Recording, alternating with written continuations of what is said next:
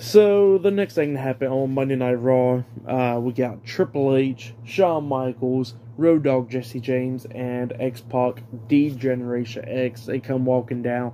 Well, they don't come walking down. They just ride in a jeep, pretty much. They go come on down and stuff like that. So yeah, uh, but yeah, they get into the ring. You know, doing their thing and all that stuff.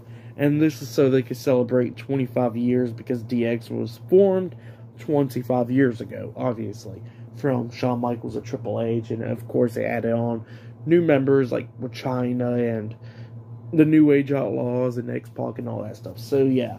Um, 25 years. That's, that's, that's crazy. That's a long time. But yeah, um, they get into the ring and X Pac says, uh, you know, DX won't never really be around if it wasn't for the ninth wonder of the world, Chyna. So yeah, they said Chyna. They mentioned Chyna. Um, Road Dogg starts doing his thing about the New Age Outlaws and everybody chanting Billy Gunn and stuff. So yeah, uh, Billy Gunn was pretty much there in the way, even though he's just an AEW. So yeah, but yeah, that's what happened there. And then they all started doing their thing, talking about, man, we feel old. 25 years.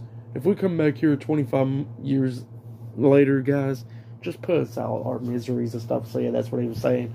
And yeah, it was just them celebrating 25 years. That's it. But yeah, it was just really cool to see DX back just one more time. It's it's really cool to see that. But yeah, it wasn't really anything too special or anything like that. But it was always pretty cool to see DX appear. So yeah. But yeah, uh, for tonight's Monday Night Raw, I'll give it I'll give it seven and a half stars. That's what I'll give it. It was a pretty good episode overall.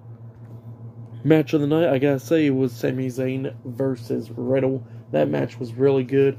I like that Seth Rollins is the, new United States champion, and there was some pretty good matches as well. Johnny Gargano, Austin Theory, Rey Mysterio, and Chad Gable and stuff. There was some really good stuff, but yeah, uh, tonight's Raw was a pretty good episode. Um, I'll be talking about AEW Dynamite this Wednesday, so yeah, look out for that. Like, subscribe, subscribe to TNW Wrestling on YouTube, subscribe to my other channel, World of Chris, and subscribe to this channel, Chris Videos, and follow me on Twitter, Instagram, and both of my TikToks. And I'll be down there in the description box, and I'll see you guys later for this Wednesday's AEW Dynamite reviews. See you guys later until then.